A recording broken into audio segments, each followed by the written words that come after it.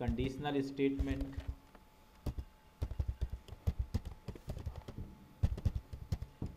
इन जावा तो ये conditional statement क्या होते हैं जावा में? कैसे इसको डेमोन्स्ट्रेट करते हैं? That thing we are discussing ठीक है कंडीशनल स्टेटमेंट का मतलब ये होता है जैसे आपने अभी अपन ने प्रोग्राम किसके थ्रू देखा? टर्नरी ऑपरेटर के थ्रू भी देखा था। ठीक है? लेकिन टर्नरी ऑपरेटर का एक बहुत बड़ा लिमिटेशन है। क्या लिमिटेशन है कि हम सिर्फ़ एक सिंगल स्टेटमेंट ही लिख सकते हैं?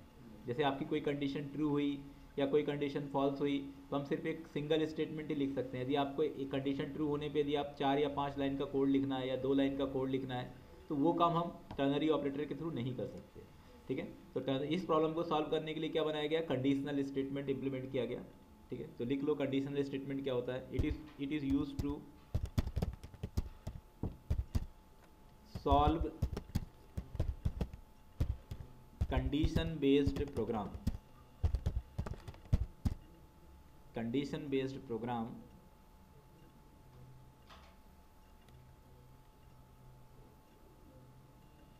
using if statement and else statement इसके लिए अपने को इफ़ और एल्स दोनों स्टेटमेंट्स का यूज़ करना होता है।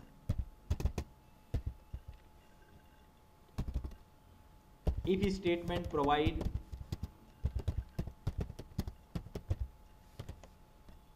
separate block level statement to write code after true condition condition यदि आपका ट्रू हो गया, उसके बाद यदि आपको जो भी कोड लिखना है, वो आप किसके अंदर लिख सकते हैं? इफ़ स्टेटमेंट के अंदर लिख सकते हैं। Else statement provide separate block block level statement to write code after false condition यदि आपका कंडीशन फॉल्स होता है तो आप एल्स का यूज़ कर सकते हैं। यदि आपका कंडीशन ट्रू होता है तो आप इफ़ का यूज़ कर सकते हैं। Else is the dependent statement else एक ऐसा स्टेटमेंट होता है जो else is the dependent statement why if statement ठीक है? जो एल्स होता है वो एक डिपेंडेंट स्टेटमेंट होता है। किसका डिपेंडेंट स्टेटमेंट होता है? इफ़ का। मतलब यदि आप इफ़ के बाद ही आप एल्स लिख सकते हो। अकेले आप एल्स नहीं लिख सकते। लेकिन इफ़ को आप अकेले भी लिख सकते हो। इफ़ दो तरीके से लिखा जा सकता है। इफ़ आप अकेले भी लिख सकते हो और इफ़ को एल्स के साथ भी लिख सकते हो। ठीक है? तो इसके बाद हम कितने तरीके से इफ़ एल्स लिख सकते हैं? ठीक है, वो सी चीज़ें हम डिस्कस करते हैं। इसे अपन बोलते हैं कि type of conditional statement conditional statement को हम कितने तरीके से लिख सकते हैं? पहला सिंपल इफ़ ठीक है, जैसे आपको किसी भी प्रोग्राम में ऐसी रिक्वायरमेंट आ गई कि भाई सिर्फ़ हमें कंडीशन ट्रू पे ही काम करना है। We want to work only true condition not in false condition तो ऐसे केसेस में आप सिंपल इफ़ का यूज़ भी कर सकते हैं। ठीक है? सिंपल इफ़ मतलब सिर्फ़ अकेले इफ़ रहेगा एल्स नहीं रहेगा। जैसे आपको जा, आगे जब जावा में आप कनेक्टिविटी का कोड लिखोगे तो वहाँ पर आपको ऐसा कंडीशन लगाना है कि भाई यदि सर्वर से कनेक्टिविटी हो जाती है तभी आपको प्रोग्रामिंग करनी है अदरवाइज़ नहीं करनी है। ठीक है? तो बहुत सारे ऐसे सिनेरियोज आएँगे जहाँ पर आपको सिर्फ़ कंडीशन ट्रू पे ही काम करना है सिर्फ़ एक ही एंड पे काम करना है सिर्फ़ एक ही एंड को फोकस करना है। तो ऐसे केस में आप सिंपल इफ़ का यूज़ कर सकते हैं। यहाँ पे इफ़ रहेगा। इफ़ के अंदर हमें क्या देना है? कंडीशन देना है। और इसके अंदर क्या देना है आपको? स्टेटमेंट देना है। ठीक है? स्टेटमेंट्स मतलब जो भी आपका प्रोग्राम लॉजिक है, जो भी आपका प्रोग्राम कोड है, वो आप इस ब्लॉक के अंदर दे सकते हैं। इसलिए इसको बोलते हैं सिंपल इफ़ दूसरा आता है इफ़ एल्स इफ़ हेल्स के अंदर क्या होगा? आपको यहाँ पर कंडीशन देना है। यदि कंडीशन जो भी यदि आपका ट्रू है तो ट्रू कंडीशन पे आपको यहाँ पर ब्लॉक लिखना है, यहाँ पर आपको कोड लिखना है, यहाँ पर आपको प्रोग्रामिंग लिखना है। और दूसरा आपका क्या रहेगा? एल्स रहेगा। एल्स मतलब कंडीशन यदि आपकी फॉल्स होती है तो आपको यहाँ पर प्रोग्रामिंग लिखना है। तो इफ़ कंडीशन के दो ब्लॉक हैं, पहला है ट्रू ट्रू के लिए आपको यहाँ पे स्टेटमेंट्स लिखना है। और दूसरा है आपका फॉल्स फॉल्स के लिए आपको यहाँ पर स्टेटमेंट्स लिखना है।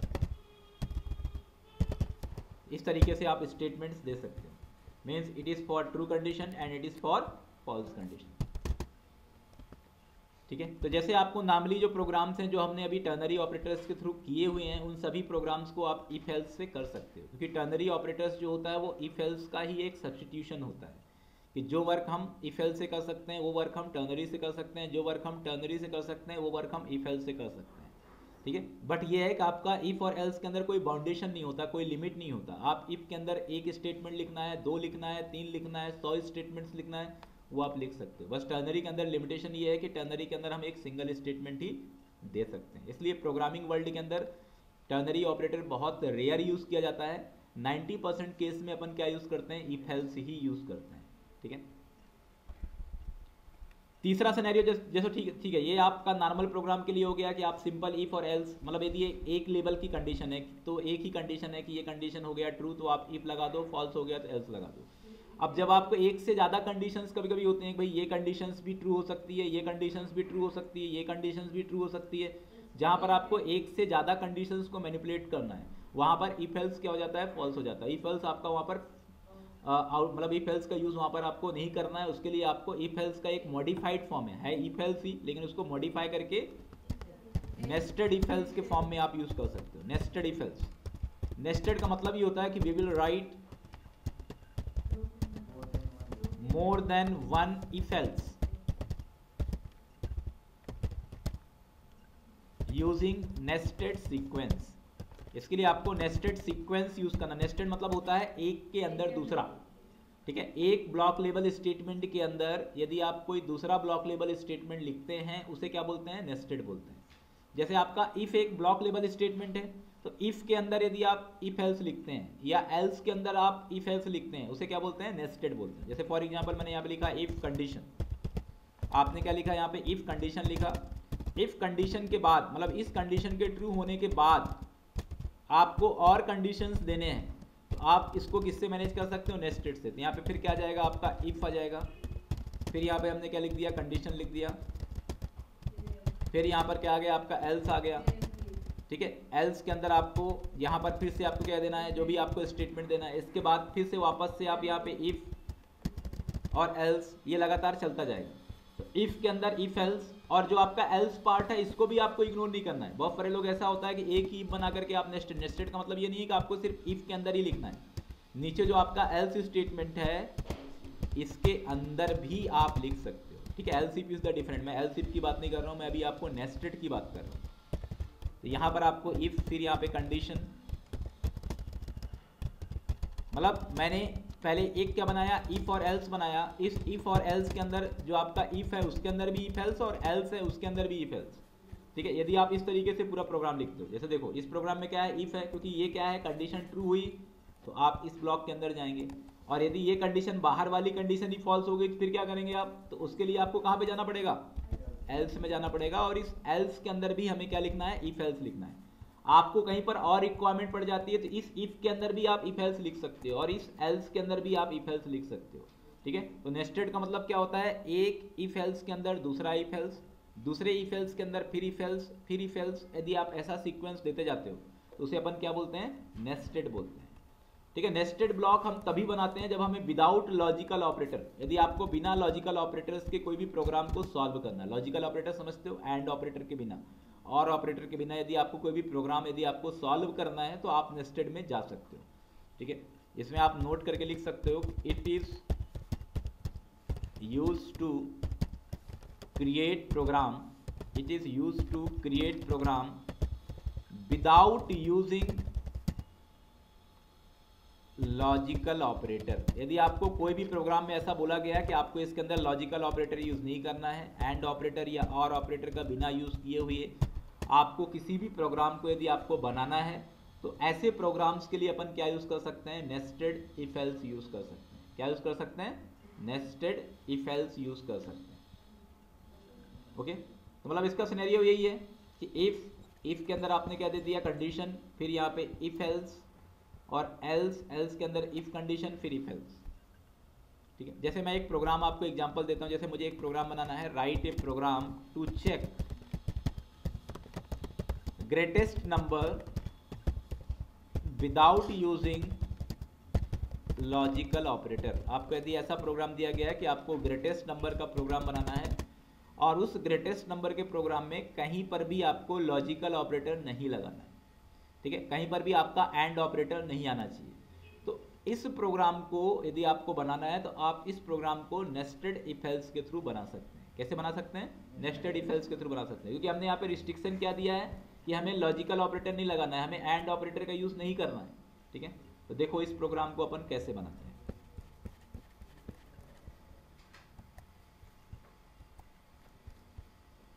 सिंपल अपन प्रोग्राम बनाने के लिए अभी अपन नोटपैड में प्रोग्राम बना रहे हैं। सिंपल अपन ने एक क्लास बनाया। क्लास का नाम दे दिया मैंने ग्रेटर, या ग्रेटेस्ट नाम दे दिया, ग्रेटेस्ट एग्ज़ाम्पल। ठीक है, यहाँ पर मैंने तीन अलग अलग वेरिएबल ले लिया। इंट ए ले लिया, बी ले लिया और सी ले लिया। यूज़र से यदि आपको इनपुट लेना है तो हमने बताया था आपको कि import Java dot util dot scanner use करेंगे। यहाँ पर जावा क्या है आपका? Java is the base package util क्या है? यूटिल एक सब पैकेज है. और स्कैनर क्या है? स्कैनर एक क्लास है. ठीक है? क्योंकि आपको ये पता होना चाहिए कि जावा के अंदर पहले क्या होता है? पैकेज होता है. पैकेज के अंदर सब पैकेज हो सकता है और पैकेज के अंदर डायरेक्टली क्लास भी हो सकता है. तो जावा एक ऐसा पैकेज है जिसके अंदर आपका कोई भी क्लास नहीं है. जावा के अंदर क्या होते हैं? सब पैकेजेस होते हैं। इसमें कौन कौन जैसे जावा डॉट लैंग, ये डिफ़ॉल्ट पैकेज होता है। Java dot util, Java dot IO, ठीक है? जावा डॉट स्कैनर एक क्लास है। It is the pre predefined class जिसका काम होता है यूज़र्स के इनपुट को मैनेज करना। ठीक है? यूज़र्स से आप, जब भी आप कोई कीबोर्ड से कोई इनपुट लेते हैं तो उस इनपुट को मैनेज करने का काम किसका होता है? स्कैनर का होता है। इसलिए स्टार्टिंग में ही मैंने सबसे पहले स्कैनर का एक ऑब्जेक्ट बना लिया। Scanner S C equals to new scanner और यहाँ पे दे दिया सिस्टम डॉट इन ठीक है, इसके पहले के सेशन में मैंने आपको बहुत डिटेल में ये चीज़ें बताया था कि व्हाट इज़ स्कैनर स्कैनर का क्या काम होता है स्कैनर कैसे वर्क करता है।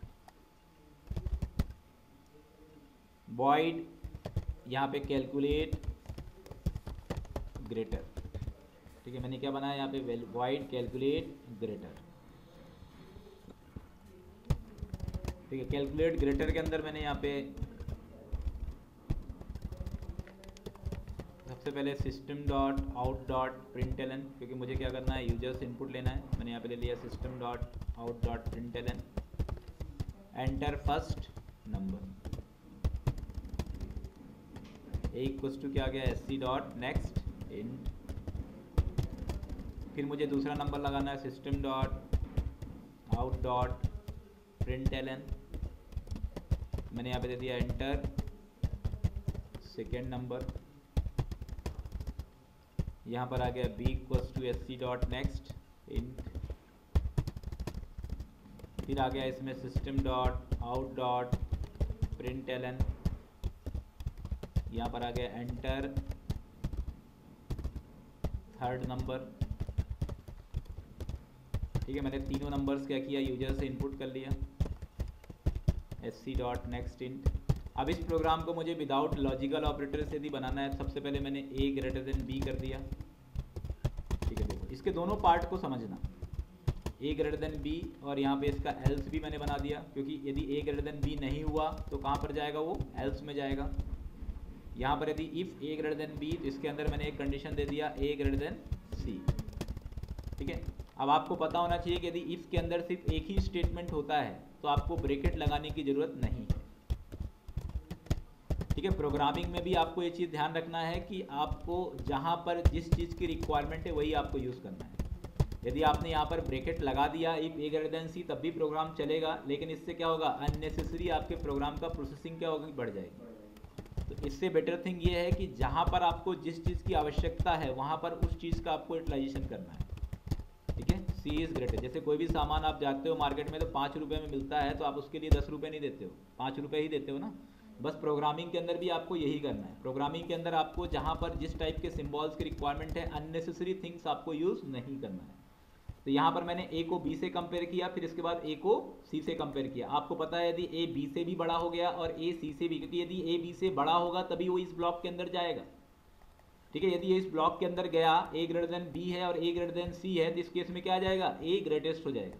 और नहीं हुआ तो क्या आ जाएगा? सी ग्रेटेस्ट हो गया। अब फॉर एग्ज़ाम्पल ऐसा इनपुट यूज़र ने दिया जहाँ पर ए ग्रेटर देन बी नहीं हुआ।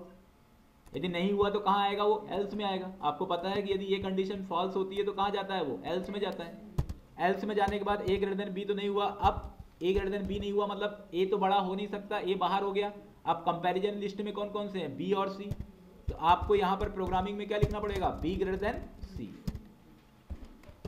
यहाँ पर आप लिख सकते हो system dot out dot print क्या लिख सकते हैं? System dot out dot print B is greatest हम इसको क्या कर सकते हैं? बी इज़ ग्रेटेस्ट मैनेज कर सकते हैं। और एल्स हाँ। System dot out dot print और यहाँ पे क्या जाएगा? सी इज़ ग्रेटेस्ट स्कैनर जो हमने लिया है, वो रन टाइम में इनपुट के लिए ही लिया है। ठीक है? इसलिए पहले आपने देखा होगा प्रोग्राम के अंदर हमने पहले यूज़र से पूछा है कि भाई ए की वैल्यू एंटर करो बी की वैल्यू एंटर करो और सी की वैल्यू एंटर करो। ये जो हमने कोड लिखा है, उसके अंदर रन टाइम में इनपुट लेने के लिए लिखा है। ठीक है? यूज़र्स ने सपोज़ दैट ए में दे दिया टेन बी में दे दिया ट्वेंटी और सी में दे दिया थर्टी तो क्या चेक करोगे? Ten greater than twenty ten greater than twenty मतलब कंडीशन क्या हो गई? फॉल्स हो गई। कंडीशन फॉल्स हो गई तो कहाँ पर आएगा? यहाँ आएगा। यहाँ चेक किया twenty greater than thirty condition क्या है? फॉल्स है। तो क्या जाएगा? सी इज़ ग्रेटेस्ट जाएगा। ठीक है? तो जब भी आप कोई प्रोग्राम बनाओ तो देखो प्रोग्राम सीखने के दो तरीके हैं। पहले तो आपके पास पेशेंस होना चाहिए प्रैक्टिकली उसको चलाने के लिए। यदि आप जब तक किसी प्रोग्राम को प्रैक्टिकली नहीं चलाते हो तो प्रोग्रामिंग कभी नहीं सीख सकते। और दूसरा प्लस पॉइंट ये है कि प्रोग्राम को आप ड्राई रन करो। Dry run in the sense कि आप प्रोग्राम को एक एक चला करके देखो कि जैसे मैंने इंट ए बी सी दे दिया। तो आपके दिमाग में आना चाहिए कि इंट ए बी सी दे दिया मतलब स्टैक मेमोरी के अंदर ए बी और सी इन तीनों के लिए क्या हो जाएगा? वैल्यूज़ आपकी एलोकेट हो जाएगी। कौन सी वैल्यूज़ एलोकेट हो जाएगी? जो वैल्यूज़ आप यूज़र से ले रहे हो। ठीक है? इसके बाद आपको यहाँ पे ड्राई रन करो। जो वैल्यूज़ आपने यूज़र्स ने दिया, उसको आप चला चला करके देखो कि ए में क्या वैल्यू है बी में क्या वैल्यू है। ग्रेटर देन ऑपरेटर क्या रिटर्न करता है? आपको ये पता होना चाहिए। ग्रेटर देन ऑपरेटर क्या रिटर्न करता है? ट्रू और फॉल्स रिटर्न करता है। यदि अपन ए ग्रेटर देन बी होगा तो क्या रिटर्न करेगा? ट्रू और इफ़ में यदि ट्रू आ गया तो ये स्टेटमेंट अंदर जाएगा। और यदि यहाँ पर यदि फॉल्स आ गया, ठीक है, क्योंकि इफ़ को ए ग्रेटर देन बी से मतलब नहीं होता। इफ़ को मतलब किससे होता है? ट्रू और फॉल्स से मतलब होता है। तो जो आपका ए ग्रेटर देन बी आप लिखते हो ना, ये क्या रिटर्न करता है? ट्रू रिटर्न करता है या कि फॉल्स रिटर्न करता है? यदि सपोज़ दैट इसने फॉल्स रिटर्न किया तो कहाँ पर जाए, जाओगे आप? एल्स में जाओगे। और यदि इसने ट्रू रिटर्न किया तो कहाँ पर जाओगे आप? इफ़ में जाओगे। ठीक है, ध्यान रखना कि जितने भी ग्रेटर देन ऑपरेटर होते हैं, ये सब ट्रू और फॉल्स रिटर्न करते हैं। जितने भी कंडीशनल ऑपरेटर है, चाहे वो ग्रेटर देन हो, चाहे वो लेस देन हो, इनके अंदर का जो रिटर्न टाइप होता है, क्या होता है? ट्रू और फॉल्स मैंने आपको समझाया था कि ऑपरेटर फ़ंक्शन होते हैं। और फ़ंक्शंस क्या रिटर्न करते हैं? कोई ना कोई वैल्यू रिटर्न करते हैं। तो जितने भी ऑपरेटर होते हैं, ये सब रिटर्न टाइप के फ़ंक्शंस हैं, जो पहले से बने हुए हैं, पहले से डिफाइन किए गए हैं। फ़ंक्शन जैसे हम यहाँ पर जो फ़ंक्शन बना रहे हैं, वो किस टाइप का फ़ंक्शन बना रहे हैं? अल्फाबेटिकल फ़ंक्शन बना रहे हैं। वैसे ये फ़ंक्शंस कैसे बने हुए हैं? ये ऑपरेटर टाइप के फ़ंक्शंस बने हुए हैं, जो पहले से क्या है? रिज़र्व है। ठीक है? अब मुझे इस प्रोग्राम को चलाना है। जैसे मैंने आपको पहले ही बोला था कि आपको प्रोफेशनली यदि प्रैक्टिस करनी है जावा की तो आप दो अलग अलग क्लास से बनाकर करो, जिससे आप एक्चुअल जावा सीख सकते हो। यदि आपने एक ही क्लास या पब्लिक स्टैटिक वॉइड मेन के अंदर ही पूरा प्रोग्राम लिख दिया तो कभी भी आप एक्चुअल जावा नहीं सीख सकते। एक्चुअल जावा का मतलब यही होता है कि you should create the object and write the program यहाँ पर आ गया पब्लिक स्टैटिक वॉइड मेन यहाँ पर क्या जाएगा? स्ट्रिंग आर्ग्स आर्ग्स मतलब स्ट्रिंग आर्गुमेंट्स ठीक है, इसके बाद यहाँ पर हम क्या करेंगे? Greater example greater example OBJ मतलब ग्रेटर एग्ज़ाम्पल क्या है? जैसे greater example is the class तो मैंने यहाँ पे greater example OBJ equal to new greater example का क्या बनाया? एक ऑब्जेक्ट बनाया। और इसके बाद मैंने यहाँ पे लिख दिया ओबीजे डॉट ओबीजे डॉट क्या नाम से है ये? कैलकुलेट ग्रेटर तो यहाँ पे मैंने लिख दिया ओबीजे डॉट कैलकुलेट ग्रेटर इससे क्या हो जाएगा? ये जो ग्रेटर नंबर का जो प्रोग्राम है आपका वो एग्जीक्यूट हो जाएगा। ठीक है? अब इस प्रोग्राम को सेव करो क्योंकि अभी तक ये जावा फ़ाइल में नहीं है। अब इसको हमें जावा फ़ाइल में कन्वर्ट करने के लिए क्या करना पड़ेगा? इसको डॉट जावा फ़ाइल में सेव करना पड़ेगा। ठीक है? तो हम यहाँ पर गए जावा पी के अंदर गए। इसको किसमें मैनेज करना पड़ेगा? आपका जो मेन क्लास का नाम है, क्या है? Greater main dot Java correct अब यहाँ पे सी में गए। D drive C D Java P R G Java C greater main dot Java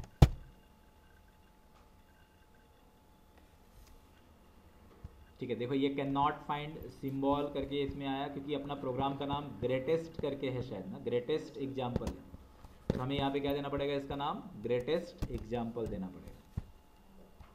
ठीक है, क्योंकि यहाँ पर जिस नाम से आपका क्लास का नाम होता है, उसी नाम से हम क्या करते हैं? ऑब्जेक्ट क्रिएट करते हैं। ठीक है ऑब्जेक्ट की मेमोरी कहाँ पर एलोकेट होती है? हीप के अंदर एलोकेट होती है। और यहाँ पर जो अपना प्रोग्राम के मेथड्स का नाम है, क्या है? कैलकुलेट ग्रेटर देखो, तब कैलकुलेट ये पूरा केस सेंसिटिव होता है, ध्यान रखना। ये एरर्स जो होते हैं ना, इनसे भी आप आइडेंटिफाई कर सकते हो। देखो एरर्स भी समझो। Error can not find symbol क्योंकि यहाँ पे अपन ने सी क्या दिया है? कैपिटल में दिया है। तो आपको इस सी को क्या करना पड़ेगा? स्मॉल करना पड़ेगा, क्योंकि मैंने आपको बताया था कि जावा के अंदर जो मेथड्स होते हैं, उनको हम कैमल केस में लिखते हैं। ठीक है? तो एरर आने से आपको घबराना नहीं है। जो भी आपका एरर्स आ रहा है, देखो जावा में जहाँ पर भी एरर्स आ रहा है डायरेक्टली वो पॉइंट आउट कर रहा है। वो डायरेक्टली पहले कहाँ पे पॉइंट आउट किया यहाँ पर पॉइंट आउट किया इसने बता दिया कौन से लाइन नंबर पे है? फोर्टी वन लाइन नंबर पे है। क्या मिस्टेक किया आपने? ग्रेटर एग्ज़ाम्पल डायरेक्टली बोला class greater example class greater main can not find symbol मतलब ग्रेटर एग्ज़ाम्पल इसको नहीं मिल रहा है। ठीक है? तो आप लोग क्या, जैसे एरर आती है तो आप लोगों को ये नहीं सोचना है कि एरर आ गई मतलब आपको घबराना नहीं है। आपको विथ पेशेंस आपको उस एरर्स को रेक्टिफाई करना है। अब यहाँ पे क्या आएगा? ग्रेटर मेन क्योंकि देखो प्रोग्रामिंग यदि आप करोगे तो आपको एरर्स आएगा ही।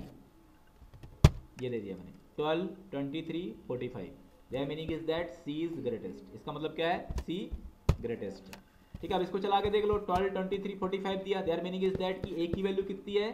ट्वेल्व बी की वैल्यू कितनी है? ट्वेंटी थ्री सी की वैल्यू कितनी है? फोर्टी फाइव ठीक है, हमने यहाँ पे ड्राई रन किया। Twelve greater than twenty three condition क्या है? ट्रू है कि फॉल्स है? ये कंडीशन क्या हो गई? फॉल्स हो गई। ठीक है, जैसे फॉल्स हो गई, हम यहाँ पर आए twenty three greater than forty five अब ये कंडीशन क्या है? फॉल्स है। इस केस में क्या आ गया? सी इज़ ग्रेटेस्ट आ गया। यदि आपको दूसरे नंबर के थ्रू मैनिपुलेट करना है, दूसरे नंबर के थ्रू यदि आपको चेक करने से मैंने दे दिया यहाँ पे हंड्रेड टू और थर्टी इस केस में देखो, इसमें केस में क्या आएगा? यहाँ पर hundred greater than two condition क्या है? ट्रू है. फिर hundred greater than thirty condition true है. क्या आ गया यहाँ पे? इज़ ग्रेटेस्ट आ गया. ठीक है तो इस तरीके से प्रोग्राम मतलब ड्राई रन का मतलब ये है कि जो वैल्यूज़ यूज़र्स दे रहा है, उस वैल्यूज़ को आपको उस वेरिएबल में रख करके और एक एक करके आपको चला करके देखना है कि आपका प्रोग्राम का कंडीशन आप पहले कॉपी में भी चला के देख सकते हो। क्योंकि आप कॉपी में यदि इसको ड्राई रन करके देखोगे तो आपकी चीज़ें और ज़्यादा क्या होगी? क्लियर होगी। क्योंकि जब तक आपको प्रोग्राम को आपको ड्राई रन नहीं करते हो तो प्रोग्राम आप कभी भी नहीं समझ सकते हो। ठीक है? तो प्रोग्राम समझने का एक ही तरीका है कि you should dry run the program आपको प्रोग्राम को क्या करना होगा? ड्राई रन करना होगा, फिर उसके बाद उसको एग्जीक्यूट करना होगा। इतना क्लियर हो गया? समझ में आ गया? ठीक इसके बाद अब इस प्रोग्राम को इस, इस प्रोग्राम में आप देख सकते हो कि कहीं पर भी मैंने लॉजिकल ऑपरेटर का यूज़ नहीं किया। I have not use logical operators in any places ठीक है? अब इसके बाद नेस्टेड इफेल्स का एक लिमिटेशन भी है। क्या लिमिटेशन है? कि चलो ठीक है ये प्रोग्राम तभी आपका थ्री लेवल में था ठीक है? तीन नंबर्स में था ठीक है? इसका लिख लो limitation of nested if else it has complex syntax structure. It has complex syntax structure for for large program जो आपके बहुत बड़े प्रोग्राम होते हैं या बहुत सारे कंडीशन से दिए हैं तो उसके अंदर जो इसका स्ट्रक्चर होता है, वो बहुत ज़्यादा क्या हो जाता है? कॉम्प्लेक्स हो जाता है। जैसे अभी आपका तीन नंबर में से ग्रेटेस्ट है यदि मैं आपको चार नंबर में से ग्रेटर मैक्स नंबर निकालने की बात करूँ या पाँच नंबर में से यदि मैं आपको मैक्स नंबर निकालने की बात करूँ और यदि मैं बोलूँ नेस्टेड इफेल्स से आप बनाइए तो ये प्रोग्राम आपके लिए बहुत ज़्यादा क्रिटिकल हो जाएगा। क्योंकि नेस्टेड इफेल्स में आपको लॉजिकल ऑपरेटर्स यूज़ नहीं करना है, लॉजिकल ऑपरेटर्स हम यूज़ नहीं करेंगे, इसलिए अपन नेस्टेड ब्लॉक बनाते हैं, ठीक है? तो नेस्टेड का अपना एडवांटेज भी है और नेस्टेड का अपना डिसएडवांटेज है कि जब आपके सिंपल प्रोग्राम्स हों, यदि थ्री लेवल है या टू लेवल है, तभी आपको नेस्टेड यूज़ करना है। उससे ज़्यादा लेवल यदि आपका हो रहा है, यदि आपका बहुत ज़्यादा कंडीशंस आपके प्रोग्राम में इंप्लीमेंट हो रहे हैं तो आपको नेस्टेड का यूज़ ना करके आपको लैडर इफेल्स का यूज़ करना है। किसका यूज़ करना है? लैडर इफेल्स जो मैं अभी आपको डिस्कस कर रहा हूँ। ठीक है? लैडर इफेल्स या इसको अपन बोलते हैं एलसीफ भी बोलते हैं। क्या बोलते हैं? एलसीफ ठीक है? तो ये क्या है? आपका नेस्टेड को ही मॉडिफाई कर दिया गया किसमें? लैडर इफेल्स में। ठीक है? इसमें अपन लिख सकते हैं कि this statement will work step by step. ये एक ऐसा स्टेटमेंट है जो स्टेप बाय स्टेप क्या करता है? काम करेगा। This statement will work step by step when one condition will true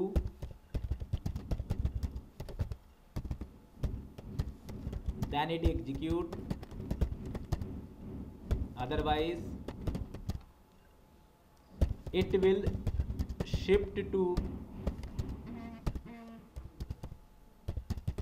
next block उसके बाद वो नेक्स्ट ब्लॉक में शिफ्ट हो जाएगा। तो यहाँ पे अपन इफ़ देंगे।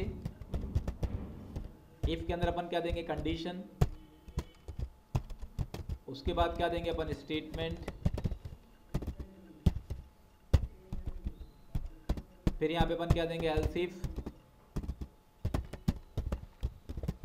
फिर यहाँ पे कंडीशन फिर यहाँ पे स्टेटमेंट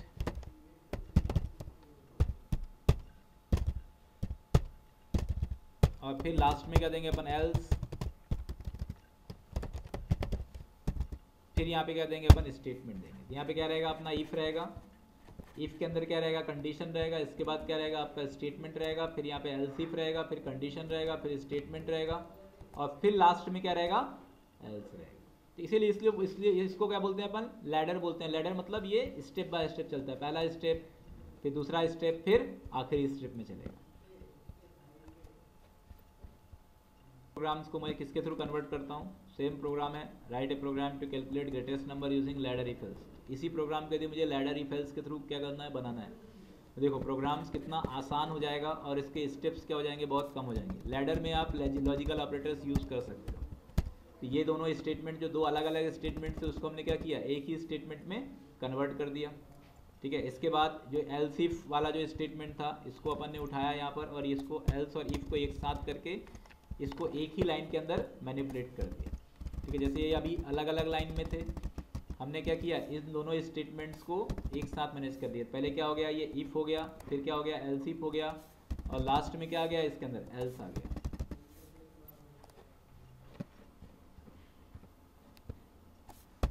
दिस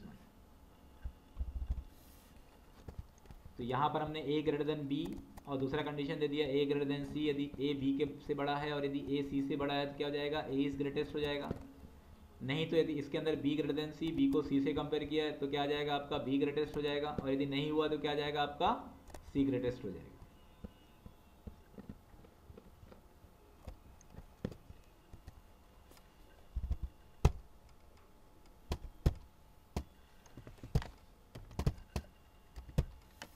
ये गया। ए इज़ ग्रेटेस्ट ठीक है?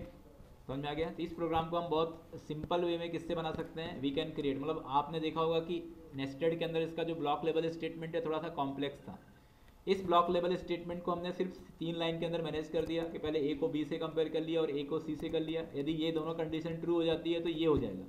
यदि नहीं हुआ तो ए सीधी से बातें बाहर हो जाएगा। फिर कंपैरिजन लिस्ट में क्या क्या होगा आपका? बी और सी फिर आप किसको कंपेयर करोगे? बी को सी से कंपेयर करोगे। तो बी ग्रेटेस्ट हो जाएगा। यदि ये भी नहीं हुआ तो बचा क्या लास्ट में? सी ग्रेटेस्ट इस तरीके से हम इस प्रोग्राम को लैडर इफेल्स के थ्रू बहुत आसानी से बना सकते हैं। बहुत ज़्यादा कॉम्प्लेक्स लॉजिक्स है, एक से ज़्यादा कंडीशंस हैं, या बहुत ज़्यादा कंडीशनल स्टेटमेंट्स हैं तो वहाँ पर आप लैडर इफ़ हेल्स का यूज़ कर सकते हो, या एल्सिफ स्टेटमेंट का यूज़ कर सकते हो। फिर आपका आता है लास्ट जो आपका टाइप है that is called multiple if statement क्या बोलते हैं इसको? Multiple if statement multiple if statement मतलब एक से ज़्यादा इफ़ स्टेटमेंट ठीक है? It will use when we want to display multiple condition with multiple results. यदि हमें मल्टीपल कंडीशंस के साथ मल्टीपल रिजल्ट्स की ज़रूरत है ऐसे केसेस में अपन क्या यूज़ करेंगे? मल्टीपल इफ़ स्टेटमेंट यूज़ करेंगे। यहाँ पर क्या रहेगा? इफ़ कंडीशन यहाँ पे इफ़ देना रहेगा। इफ़ के अंदर अपन क्या देंगे? कंडीशन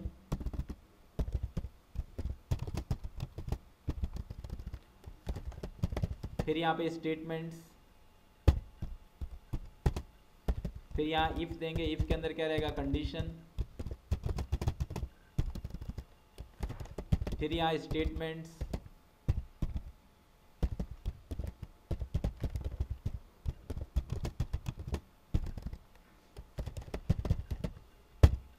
इस तरीके से हम इसको मैनेज कर सकते हैं। यहाँ पे क्या आया? इफ़ आया, फिर क्या आया? कंडीशन आया, फिर इसके बाद अपन ने क्या दिया? स्टेटमेंट्स दिया, फिर इफ़ आया, फिर कंडीशन फिर यहाँ पे स्टेटमेंट्स फिर इफ़ आया, फिर कंडीशन फिर इसके अंदर स्टेटमेंट इसे क्या बोलेंगे अपन? Multiple if statement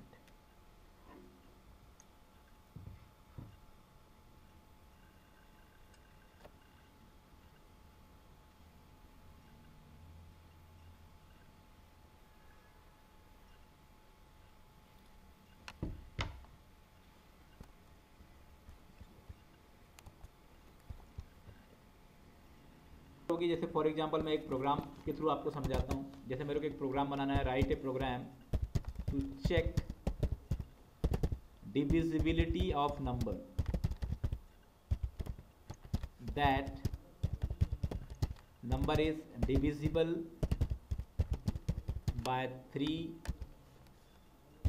five and nine in all combination ठीक है मतलब मुझे कोई कोई भी नंबर को डिविजिबिलिटी चेक करना है कि वो नंबर डिवाइड हो रहा है कि नहीं हो रहा है, किससे डिवाइड हो रहा है थ्री से हो रहा है फाइव से हो रहा है नाइन से हो रहा है इंडिविजुअल हो रहा है और ग्रुप में हो रहा है। यदि मुझे इसको क्या करना है चेक करना है। तो इस केस में मैं क्या करूँगा, उसके लिए मुझे मल्टीपल इफ़ का यूज़ करना पड़ेगा। क्योंकि आपको प्रोग्राम ऐसा दिया गया है, जैसे मैं एंटर करता हूँ फोर्टी फाइव तो यदि वो तीनों से डिवाइड है तो तीनों से आना चाहिए। यदि कोई नंबर मैंने ऐसा एंटर किया कि सिर्फ़ दो से डिवाइड है मतलब तीन और पाँच से डिवाइड है तो क्या आना चाहिए? तीन और पाँच से डिवाइड है। यदि एक से डिवाइड है तो क्या आना चाहिए? एक से डिवाइड है। तो यदि आपको ऐसा प्रोग्राम बनाना है जहाँ पर multiple condition with multiple result जैसे अभी तक क्या हो रहा है? आप नेस्टेड से बनाते हो कंडीशन तो मल्टीपल होते हैं, लेकिन रिज़ल्ट एक ही रहता है। लैडर से बनाते हो कंडीशन तो मल्टीपल होते हैं, लेकिन रिज़ल्ट एक ही रहता है। लेकिन कभी कभी आपको ऐसी रिक्वायरमेंट हो जाती है, जैसे आप फ्लिपकार्ट या अमेजोन इनके अंदर जाते हो तो आपको बहुत सारे कॉम्बिनेशन से डेटा फ़िल्टर होकर आ जाता है। आप प्राइजिंग से भी फ़िल्टर कर लेते हो। प्राइजिंग के साथ आपने ब्रांड सेलेक्ट किया तो प्राइजिंग और ब्रांड दोनों के कॉम्बिनेशन से क्या होगा होगा आपका डेटा दिख जाएगा। ठीक है, इसके बाद प्राइजिंग ब्रांड और उसके बाद आपको कलर यदि इन तीनों को आपने सेलेक्ट किया तो प्राइजिंग ब्रांड और कलर इन तीनों के कॉम्बिनेशन से भी डेटा आपको क्या हो जाता है फ़िल्टर होकर आ जाता है। तो एक कंडीशन से भी आ रहा है, दो से भी आ रहा है और तीनों से भी आ रहा है। तो ऐसे केस में अपन क्या यूज़ करेंगे? मल्टीपल इफ़ यूज़ करेंगे।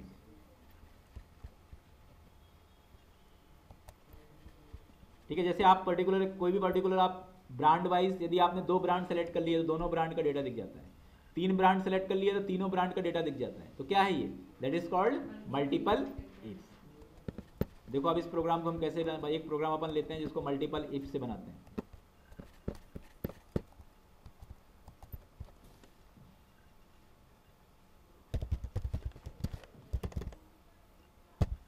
java dot util dot scanner ये क्यों लिखते हैं? ये आपको लिखना ही है। जो भी प्रोग्राम आप बनाओगे, यदि आपको यूज़र से इनपुट लेना है तो आपको इसको लिखना पड़ेगा। चेक डिवीज़न मैंने यहाँ पे ले लिया int num scanner S C to new scanner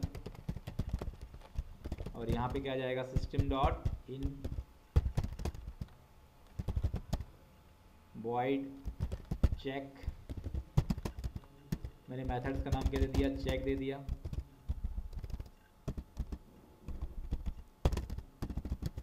after that system dot out dot println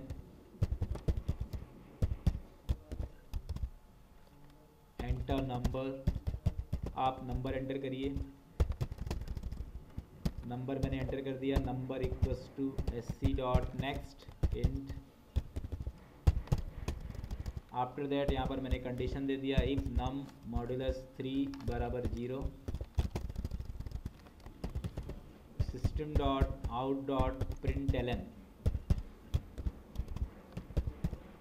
divisible by three किससे डिविजल है ये? थ्री से डिविजिबल है. फिर if num modulus five equals to zero system dot out dot print L N यहाँ पे जाएगा divisible by five फिर मैंने यहाँ लिखा if num modulus nine equals to zero यहाँ पर आ गया system dot out dot print L N and after that divisible by nine मैंने यहाँ पे तीनों डिविजन्स को इम्प्लीमेंट कर लिया। Our business code has finished यहाँ पे क्लास बनाया एक अलग से। Division main after that public static void main string args now I can create the object. अब मैंने ऑब्जेक्ट बनाया। क्या नाम है? मैं क्लास का check division. Check division OBJ equals to new check division and here I will write O OBJ dot what is the method name method name is the check I can call it now I will save किससे save किया मैंने? Due main dot java. I have saved due main dot java. Now I will write java c due main dot java. इसको मैंने compile किया. After that execute this program due main. Enter number मैंने दे दिया 56 कुछ भी नहीं आया. ठीक है, क्योंकि मुझे, मैंने प्रोग्राम में क्या दिया कि मुझे चेक डिविजिबिलिटी चेक करना है. मुझे ये चेक नहीं करना है कि डिविजल है कि नहीं है.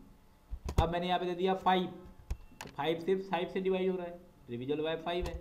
मैंने दे दिया फिफ्टीन डिविजल बाय थ्री और डिविजल बाय फाइव मैंने दे दिया फोर्टी फाइव तो इस प्रोग्राम को यदि आप ड्राई रन करोगे तो सबसे पहले जैसे आपने फोर्टी फाइव दिया तो नंबर में क्या असाइन हो गया? फोर्टी फाइव असाइन हो गया। फिर ये जाके चेक करता, देखो मॉडुलस और स्लैश इनमें डिफरेंस यदि मैं यहाँ पे स्लैश लगा देता हूँ तो इससे प्रोग्राम का, इससे आपका रिज़ल्ट आता है। और मॉडुलस से क्या आता है?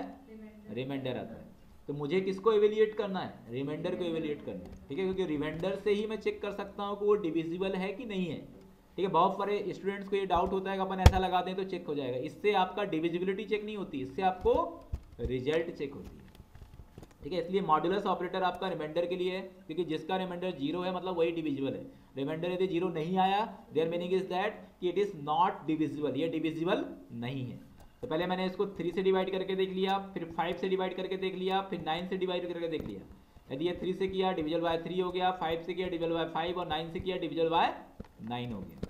और now I can compile and execute this program उसके बाद मैंने इस प्रोग्राम को पहले कंपाइल किया, और कंपाइल करने के बाद मैंने इस प्रोग्राम को एग्जीक्यूट जैसे मैंने दे दिया ट्वेंटी तो ट्वेंटी क्या है आपका? सिर्फ़ किसके डिविजन किससे डिविजल है?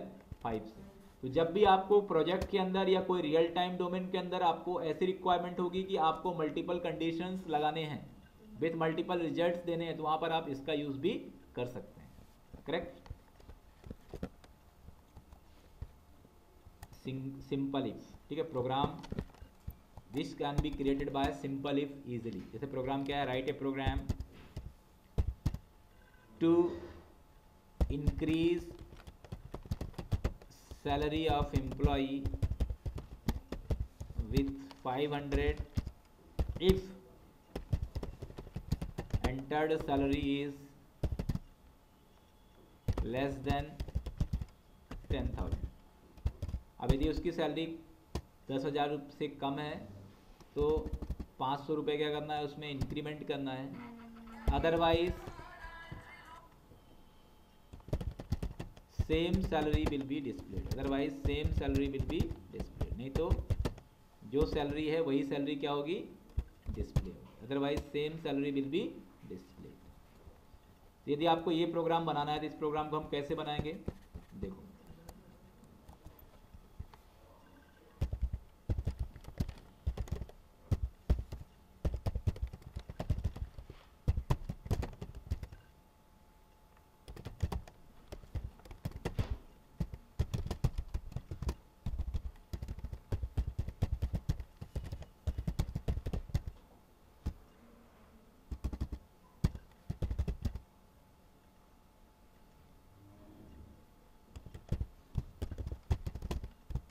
प्रोग्राम समझ में आ गया।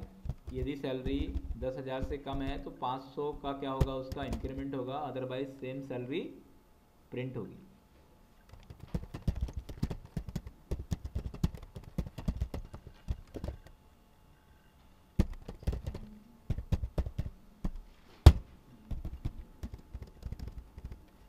यहाँ पर हमने ले लिया।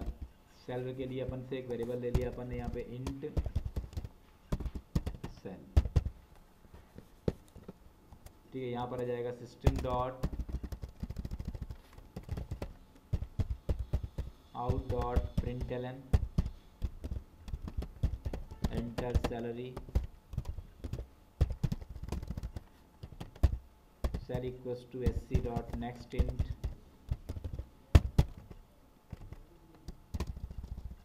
if salary less than 10000 equals to sal plus five hundred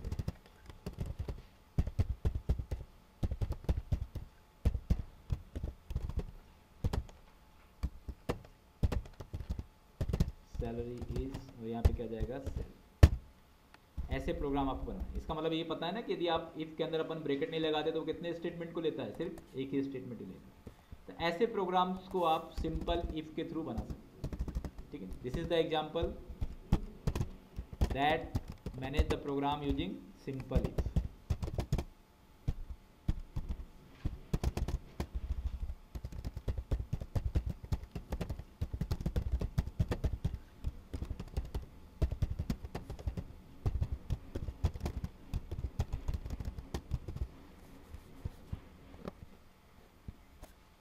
now I can manage salary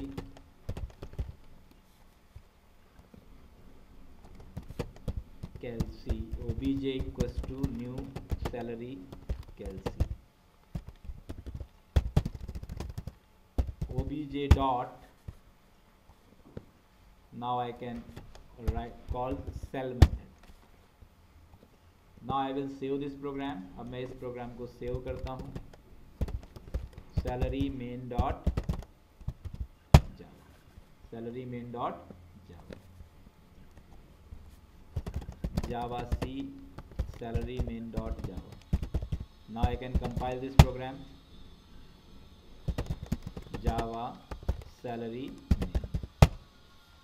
मैंने दे दिया सैलरी यहाँ पे ट्वेल्व थाउज़ेंड तो सैलरी क्या हो गया? इसका ट्वेल्व थाउज़ेंड ही प्रिंट कर दिया। लेकिन यदि मैंने सैलरी दे दिया इसका एट थाउज़ेंड तो कितना कर दिया? एट थाउज़ेंड फाइव हंड्रेड तो दिस टाइप ऑफ़ प्रोग्राम इस तरीके के प्रोग्राम्स हम इससे बना सकते करेक्ट समझ में आ गया? इसको आप नोट कर लो। ठीक है, अब मैं कुछ असाइनमेंट दे रहा हूँ, लिखो। Assignment of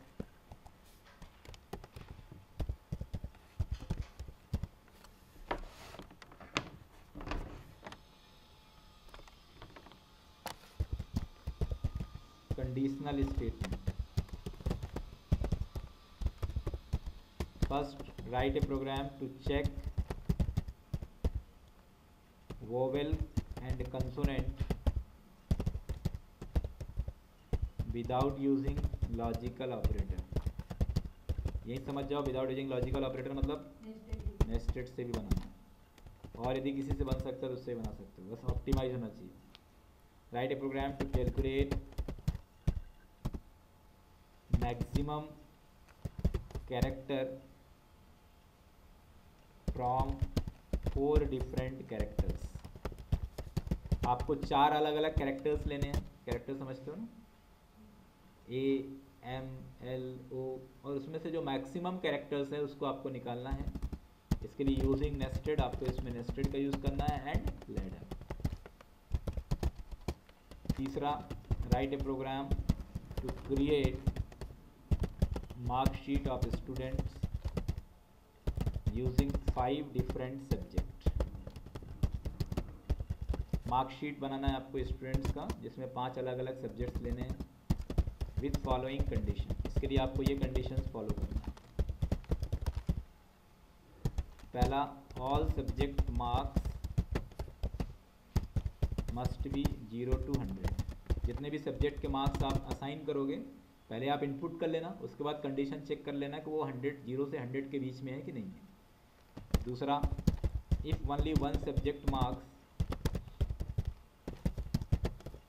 is less than thirty three then student will supplementary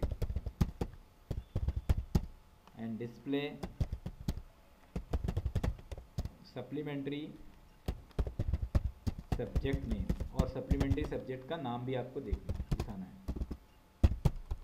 तीसरा if subject marks is less than thirty three ठीक है वन सब्जेक्ट मार्क हो गया यहाँ पे। Two subject marks is less than thirty three then student will fail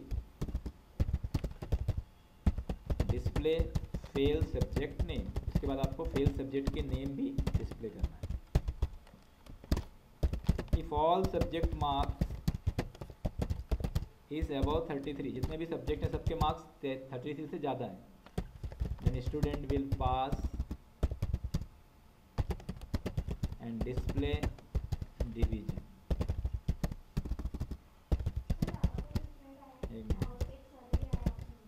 And display distinction and distinction subject में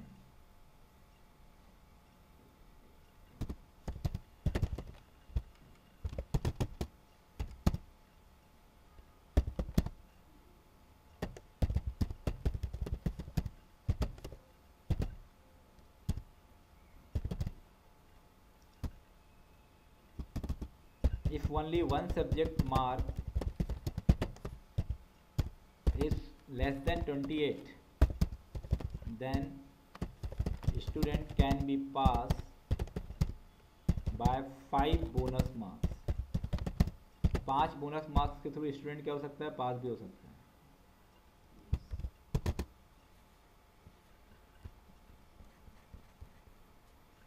ठीक है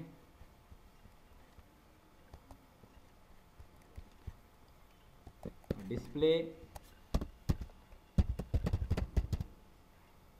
ग्रेस मार्क्स ये बोनस ग्रेस और बोनस मार्क्स ग्रेस और बोनस एक ही बात